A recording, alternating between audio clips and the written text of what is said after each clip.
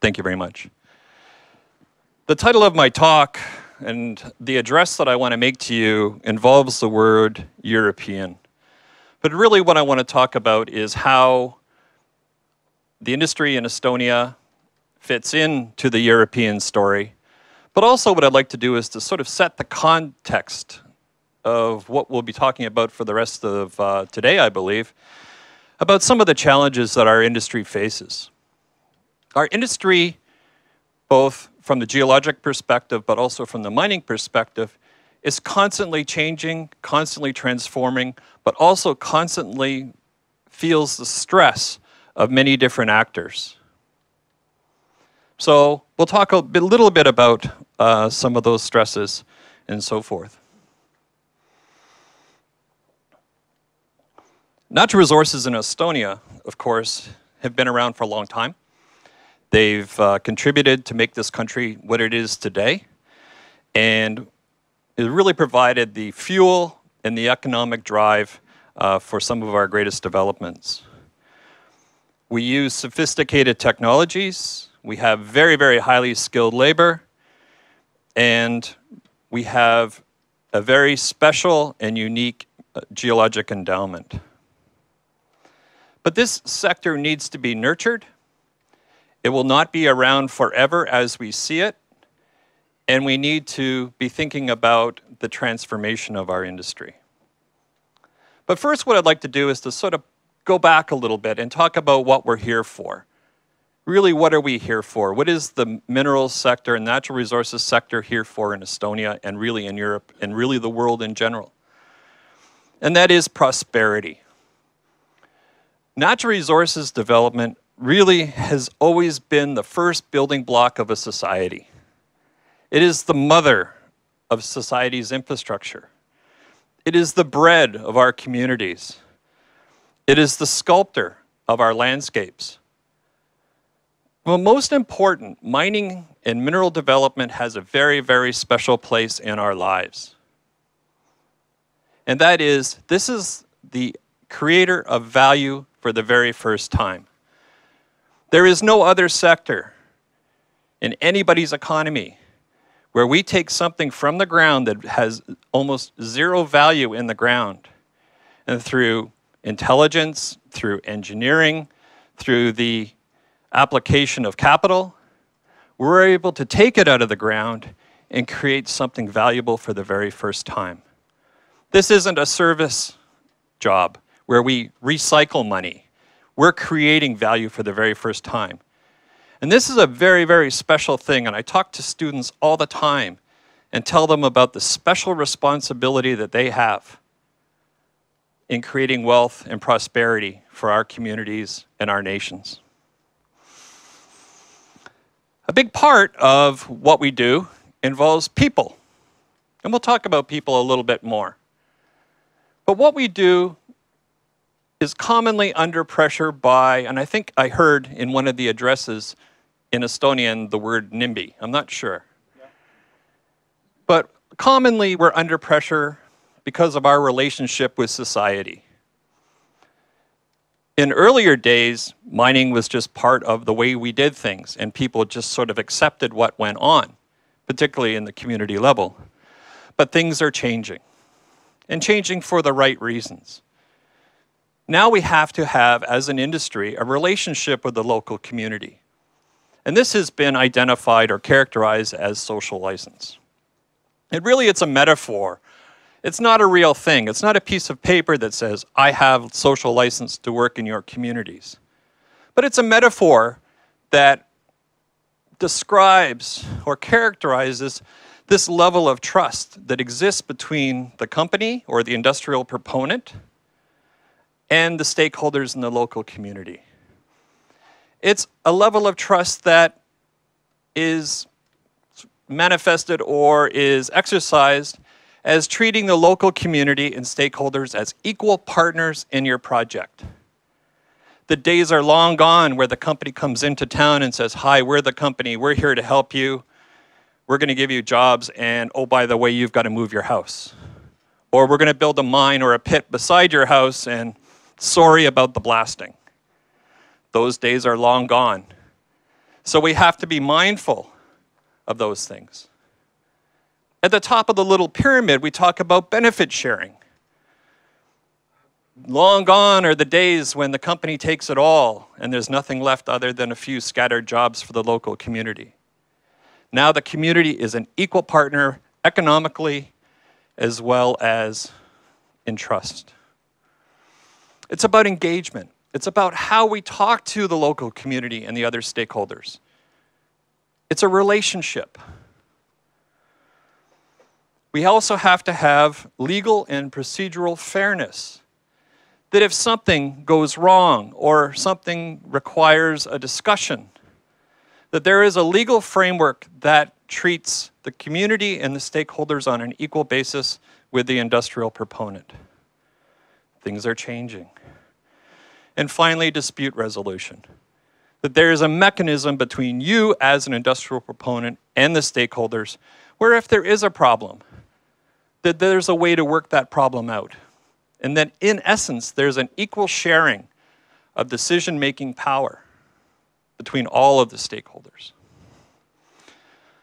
The big question with natural resources, and Estonia is a great case in point, is this notion or this idea of consume now or consume later. And I don't know if many of you are aware, hopefully you are aware, the United Nations came out with a handful of, of uh, sustainable development goals. Well, this is probably one of my favorites. Number 12. And that really is talking about sustainable production. That we're promoting production of resources in such a way that are, is energy efficient, that we allow access to basic services, and that the production provides what I refer to as green jobs, or jobs that are safe, jobs that improve people's livelihoods, improves lifestyles, improves local living conditions. So it's all about the sustainable production doing more with less. The focus really here is increasing economic gain by actually reducing resource use or using the resource in a different way. It's about managing land degradation and pollution and minimizing this idea of waste throughout the whole value chain or throughout the whole economy this magic snail diagram is really, really common these days, particularly within the EU countries. This is the circular economy. And it's critical that the inputs that really come from your hard work and my mining brethren, that the amount of waste is minimum, minimalized, but also the waste actually doesn't become waste anymore that the waste actually becomes a value added product. And I think we can all sit in this room and think of examples here in Estonia where that can happen. The other thing is this idea, particularly in the Estonian context, of what I refer to as external sustainability. It's not about sustaining our industry as such, but it's sustaining, sustaining an external presence we know that we here in Estonia are starting to feel the pressure from outside about our natural resources sector. The elephant in the room, of course, is emissions and CO2 production. It's unfortunate that the largest component of our energy source comes from a highly CO2 generating product. So over time, we will start feeling the pressure on our oil shale sector as a fuel and our electrical generation uh, capacity from people like the EU. So it's critical that we're starting to think about how we're using our natural resources and what other natural resources might be available to us. I talk about this idea of sustainability, and I kind of want to take a little detour for a moment and talk about sustainability. Because I think if you go on to Google and you type in sustainable development or sustainability, you get almost 2,000 different definitions of the topic. 2,000. So if we have 2,000 definitions of one word, how can we all collectively agree? How can we all collectively act in a more sustainable manner? Me personally, I like the first one from the early 1990s by Brundtland, Gro Harlem Brundtland. In her report, Our Common Future. And it's all about maintaining a lifestyle, but without negatively impacting the lifestyles of the future generations. That's a paraphrase. I think that's a pretty fair assumption. We can continue to use our resources, but use our resources in such a way that it doesn't negatively impact the future. This is my magic green diagram, and unfortunately, it doesn't really show very well in the light. but it really talks about what I think are these spheres of relationships between important aspects that make up this idea of sustainability. The first ring is governance, which really means the rules of the game. It's important that we have rules that are reflective of the values of our community, but also do not negatively impact the ability for us to produce and develop natural resources. We all live in a community. The community is this thing. It's made up of a very diverse group of actors and individuals that have different values, different timelines, different motives, but we all work together. And then inside of that, we have these elements that I believe really are the critical elements that determine whether our activities are sustainable or not. And that would be the impact on diverse, uh, biodiversity, water, which is arguably the most critical input of any natural resource development. In fact, the most critical element facing humanity today. Because without water, what happens? We die. So it's critical about our water resources. It's about wise use of energy. It's also about this notion of material stewardship, which I'll talk about in a moment. But at the end of the day, sustainability, the center is people. It's all about people. The biosphere is sustainable by themselves, by itself. It was sustainable long before people started walking on this earth. But sustainability, the notion is all about people. So when we talk about community, we have to be really mindful that in order for us to carry out what we do, we have to do it in a way that is collaborative and in a self defined way.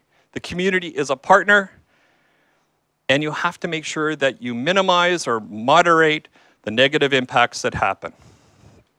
Environmental degradation. Most communities, if not all communities, have an unusual, uh, unusual is a bad word, has an attachment to the land, a unique attachment to the land. Perhaps a lot different than yours. My backyard is far more important than it is to you. and the squirrels, of course. There's stresses. When we go into a community, there's stresses on social infrastructure and health services, for example. If we decide we want to build a mineral development and we bring in a thousand foreign workers to build our mining infrastructure, that's going to stress housing, health, roads. It's going to stress people culturally, I'm sure. So we have to be mindful of that. And often, what we'll do by coming into some communities in some locations is we'll start interfering and interrupting subsistence existence and change and move towards this economic dependence on what you are. Because all minds close at the end of the day. So you have to manage and be mindful of this development of dependence of course, people. It's our role as industrial proponents is to develop people and engage people and a workforce in such a way that they can leave a, lead a sustainable livelihood in a healthy way. We have to embed a culture of safety. We have to embed a culture of learning. And we have to constantly be thinking about operational excellence and how we're going to do it better and safer. Water, as I said, is the most precious resource on earth. And it is critical. It is our job. It's our moral imperative that when we use water, we use it wisely, and we do it in such a way that is equitable with all stakeholders. And there's a division, there's a sharing between the social, economic, recreational, and cultural benefits of that water. Biodiversity, it will always be an issue. This was probably the first issue we ever really thought about in terms of sustainability. But it's critical that if we are going to carry out what we do, whether it is carrying out a drill program, a trenching program, developing a mine, or closing a mine, we have to leave a positive net benefit impact on our land. Because the truth is, they don't make land anymore. Maybe they do in deltas and things, but generally speaking, we don't make land anymore. So we have to preserve and look after what we have. Energy is critical as well, that we have to be mindful of the kind of energy that we're using. We have to look towards smart energy mining operations, using less energy in comminution or the crushing and grinding of rocks, the making of big rocks into little rocks. And material stewardship is critical. This is about the circular economy. This is about maximizing the benefits of the products that we make that provide a service or helps drive our societies but also minimizing the impact on people and the environment. And what we have to do is think about the products that we produce throughout the entire product life cycle. At what point in time do we, as producers of raw materials, lose control or lose responsibility for that commodity? There's a school of thought out there now that we actually never lose responsibility as producers of raw materials. That we are responsible for taking it out of the ground and we track that product all the way through the value cycle and through the circular economy and actually take it back as a recycled product and upcycle it into another product or the similar product in the case of metals. But we actually start adding value to our waste stream. So no longer do we produce a concentrate or produce a product, put it on the truck or put it on a train and kiss it goodbye. That doesn't exist anymore. The world is changing and we have to change too. I talked about governance at the onset, and this is really setting up rules and regulations such that everybody is legally a beneficiary of the natural resources of the country. Who owns the resources is always the question. And again, I come from Canada where we are constantly in a dialogue with our First Nations. Because arguably, they may own the resources. Does the Crown own the resources? Does the company own the resources? Does the community own the resources? What is that relationship? So it's really important for us to understand who owns the resources and how we can share the benefits and again the creation of that value from the development of those resources. So in order to develop a nurture a resource sector, I'm going to shift gears a little bit here. There's some things that we have to start thinking about. About the long-term sustainability of our economy that's related to mineral resources, the sustainability of the companies that carry out those resources, the sustainability of the livelihoods of the stakeholders. All of these things have to be planned out. And what we need to do is to prioritize. We have to prioritize that natural resource development that reflects both the domestic need and our export opportunities. Because really, there's two sides of the coin, generally speaking, with natural resources. We tend to use a lot domestically, but we also realize there's an export value. So the planning of when you bring these resources on stream, how you plan for it throughout the entire economy is critical. One of the things to start thinking about and to consider is the role of state owned enterprises, but also how do you bring foreign investment into your resources sector? Foreign investment is a good thing, don't be afraid.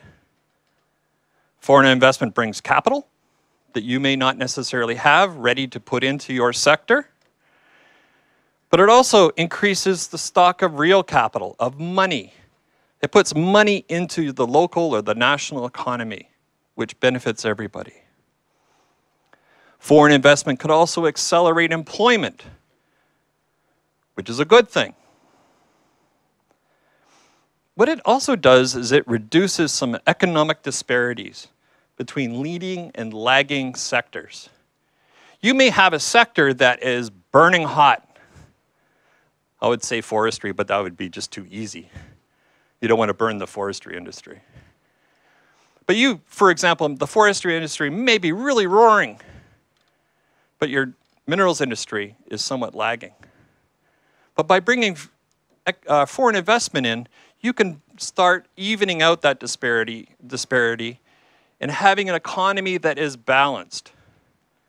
Because when you think about it, the mining industry is probably one of the most vulnerable, particularly in export markets, because mining doesn't set the price. It's one of the craziest industries out there. Crazy industry. I don't know why we do it. Because we have no control over the price of the commodity. We're known as a price taker, not a price setter. We just show up at the person who's buying our commodity and go, here, how much are you going to give me for this? Which is ridiculous. There's no other industry out there like at all. So we have to be able to balance any sort of market variability in our commodity and in our sector relative to other sectors for equal and even economic development. One of the other things that we need to nurture and to grow our natural resource sector, particularly in Estonia, which I'm aware of, is access to high quality geologic data. That's your job. Right? That is your job. Currently in Europe, which is this great tapestry of cultures, there's a lot of geologic data in a number of online platforms such as the European Geologic Data Infrastructure Base. But due to cutbacks in funding, many of the member states and geologic surveys have stopped producing primary geologic data. This is the data that companies require to go do their job. Exploration companies, and most certainly mining companies, aren't going out there to do field mapping. They're not going to go out there and try to track mineral occurrences. That's your job as a geologic survey, for example, is to produce that kind of data and make it available. There's a lot of Eastern and post-Soviet countries that have heaps and heaps of data, lots and lots of data. It's amazing data that's out there. But they haven't quite developed a way to get it into the public domain. There are examples where you have a division of where the data exists. And you have ministries and organizations that are constantly fighting against each other. I own this data, you can, you know, I own this data, and they don't get together. You will not attract foreign investment into your mining sector unless you can provide a database that is unified and accessible. GTK in Finland and SGU have been very, very successful at this. And as we can see, Finland and Sweden are booming in terms of early stage exploration. Not only from domestic companies, but a lot of foreign investment at this point in time. The next thing that we need to be mindful of in developing the sector is mining rights management. In places like Australia and Canada, we have mining cadastres, which basically capture what mining licenses and exploration permits are out there and basically provi provide the authority for granting access to these projects. In Europe, it's very, very uneven that each country obviously has jurisdiction over their own natural resources, and some countries do have a unified cadastre, some don't. So it's really important to be able to present to the public a unified way of representing what lands are available and what lands are not. This is a big one. This is the right to mine and tenure uh, security of tenure. Again, in places like Canada and Australia, it's generally assured that if we're the first on the ground and it's free, we can carry out exploration. But there are places where that doesn't exist in Europe. This idea of first come, first served is not equally or equally or evenly applied. In some places, the regulators say, you can have it, you can't have it. In some places, it's a negotiation. So you have to negotiate with the government as an individual company saying, you know, I am experienced, I know what I'm doing, can I please have this permit? Ireland is the case in point. The graph on the side is kind of an interesting little story that you can see that Europe doesn't sort of feature particularly high. Northern Europe isn't so bad. Central and Eastern Europe is getting a little bit further down the track in terms of this idea of investor security. The next thing that we have to be very efficient in terms of developing our sector is this idea of converting exploration to mining licenses. And in the event that you want to transfer your mining license from one company to, to another, that it's done relatively easily. Again, in most European countries, that's relatively simple and relatively e evenly applied. But sometimes that isn't the case. Generally speaking, you have to make sure that the parties can fulfill their technical obligations that are usually presented in some sort of feasibility report, and that usually is enough. But again, in some ju jurisdictions, the transfer of mining licenses or the granting of mining licenses is done by a, by a at the ministry level, and it's determined on whether the project serves the public good. So we start adding that other social dimension into what would normally be a, a commercial relationship. In some countries, that they will actually not grant the transfer of mining, lights, mining rights or leases because it's not in the public interest and they would actually keep that work that you've done to themselves and essentially and effectively expropriate your project. This is the big one, and we're seeing this actually becoming more and more prevalent here in Estonia, and that's idea of the public perception of mining. We're getting better right? We put a lot of effort in to talk about, oh, we, again, I don't have my cell phone. I hold my cell phone up. Yes, there's 72 or 73 elements. These are really important. And life would be over if we didn't mine things. I'm getting, I personally am getting kind of tired of these metaphors, but the general public is starting to get the idea that mining and natural resource development is important we haven't got over the fact that they still see it as a dirty, low tech, unsafe, and certainly undesirable activity. As a professor at a university, our lifeblood are young students. And it's critical, critical that we accurately portray our sector, both from the geology side and the mining side, is one that is high tech that is safe, that you actually can go home to your own bed if you choose. Right? This is the critical message that we have to tell our people and tell our public and tell your neighbor that mining is good, mining is important. Not just hold up your cell phone. We're seeing a lot of activism that we've never seen before. And it's only going to get greater and greater and greater. This is thanks largely to social media, where information travels very, very quickly, that the latest tweet becomes fact or truth, that everybody's opinion is considered equal. Misinformation travels just as fast as the real information. And we're seeing changes and we're seeing much, much more opposition. And again, in the, in the Nordic countries, we see Northland, uh, the Northland incident where the project was shut down and the uh, permits were not granted. Nordic and Beowulf's Kallak Iron project is probably, I can't really say because I don't know, but there, there's a lot of challenges to them getting their licenses, if at all. Okay, so again, this is part of that opposition. NGOs are becoming far more sophisticated. And we're seeing that here in Estonia as well. So we have to be mindful. It's about how we represent what we do.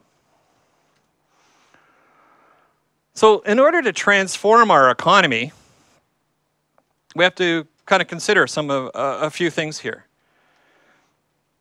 Eston- I call this Estonia's infrastructure promise.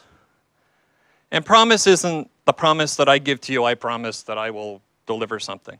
This is the promise of potential. This is the, the idea that we have something awesome. This is our promise, our future. And we have a couple of rather large infrastructure projects on the, uh, on the table. Whether they come to fruition or not, there is this potential. I think Rail Baltica is moving forward in some fashion. It's going to require a tremendous amount of raw materials. And it's critical that we here in Estonia are in the forefront with our wheelbarrows, with our trucks, saying, here are the raw materials to build this. We have them. Whether we're going to mine them or whether we're going to recover them as post industrial waste products. The tunnel, the magic tunnel, the Angry Bird tunnel. I think that's going to be the logo is an Angry Bird. I'm not sure. It's a great idea. It's a huge infrastructure project. It's going to require a tremendous amount of natural resources. But more importantly, it's going to re- require the skills that our young people are developing, right? It's the intellectual smarts. Estonia is amazing at mobilizing technology and intellect. I drive to work a couple of days a week when my wife doesn't need the car. And I had to go buy a car that had really high wheel clearance because, of, and I couldn't buy a BMW, which I was told I had to have. So I bought a Volvo. And I bought a Volvo with big wheel clearance because of avoiding the potholes when I drive to work. Estonia is facing a crisis in terms of aging infrastructure. And we have to be thinking about how we're providing the raw materials to help fix that infrastructure. Again, whether it's new materials or whether it's upcycled former materials or waste products, it's critical. But then it's the new economy infrastructure, right? This is the cool part. This is what you're good at. We have to think about different ways in which we're using our mineral resources that we have today and in the future in order to build that future infrastructure that we require. I love this picture, by the way. I couldn't find the reference, but it was really cool. There will be an ultimate shift away from oil shale generated electricity. May not necessarily be in my lifetime, but in the fullness of time, there will be sufficient external pressure on Estonia to say, you've got to come up with a better way of doing it. Estonia is actually meeting its emission uh, levels where it should be, but I'm not sure how long the European Union is going to put up with burning fossil fuels to produce electricity. Great steps have been made to, produce, uh, to develop renewable energy systems. In a country like Estonia, which is relatively small in terms of population, this is very, very doable. And maybe oil shale is too valuable to burn. Have you ever thought about that? Maybe some of the other products that we produce or can produce from oil shale has a much greater value added level than what we're taking advantage of. I always say this, again, coming from Australia where coal is huge, I always say, well, maybe coal is too valuable to burn. Maybe there's other chemicals and other things that we can extract that has a much greater value than burning the coal. It's Australia. So, other resources in, in Estonia have to become more prominent because oil shale will not be there forever. We can improve mining methods because mining methods that are being used today are leaving a tremendous amount of material underground. The resource is shrinking as a just physically because we're mining it. So, yes, we have to mine it smarter, but we also have to think about other resources. And they have to be part of the bigger picture. So, we have to be thinking out of the box. As I said, Estonia is known. This is your gift that you think outside of the box. The one I'll highlight is phosphorite. This is my fave. Phosphorite and phosphates have a tremendous pr promise in this country. It is really the next major mineral element or mineral product that will take over. And we have to be thinking about it now. It has export potential, it's of relatively high quality, but we have some knowledge gaps. And we need to start addressing those gaps now. Not all phosphorites are the same. Okay, so we have to understand that. We have to unify what we know from historic data and update that data using modern analytical techniques. But we also have to start thinking about actually how are we going to mine this? Are we going to mine it the same way that we mined oil shale? Or are there other ways? Other ways that we haven't even thought of yet. Right? We have time. We're in that window where we can think about creative extraction methodologies, not only the metallurgical extraction of the material, the, the elemental materials that we need, but also the physical extraction. We have that time now. One way of dealing with this, and this is something I encourage, and this is, I'm actually paid to say this, is this idea of the innovation triangle. And this is something that we need to do better at and we need to promote and foster, not only here in Estonia, but all of Europe. This is kind of a, a weird diagram that I created that talks about the idea of relationships between really the three three important partners, I suppose, in the structural development and the maintenance of our mining sector here in, in Estonia. And is that relationship and that partnership between the exploration company, research institutions like the Geologic Survey, and academia like Taltech. And it's this relationship and this sharing of ideas that help develop and emerge these new techniques that I talk about, whether it's a mining technique, a metallurgical technique, a modeling technique for something like facies of phosphorites. Right? But it's this partnership and this relationship.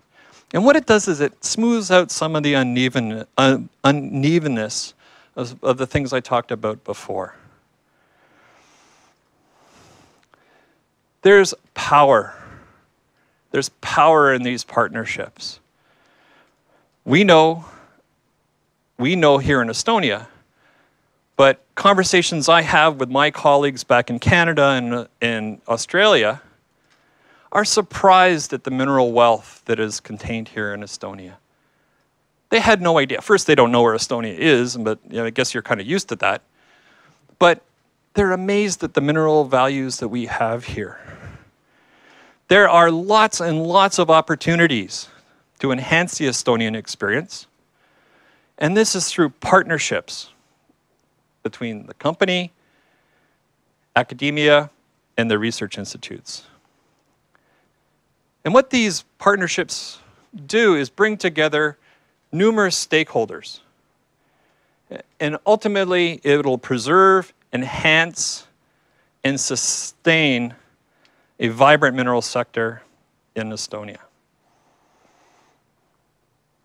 We know Estonia is endowed with a unique bounty of mineral resources, most of which have seen some level of development.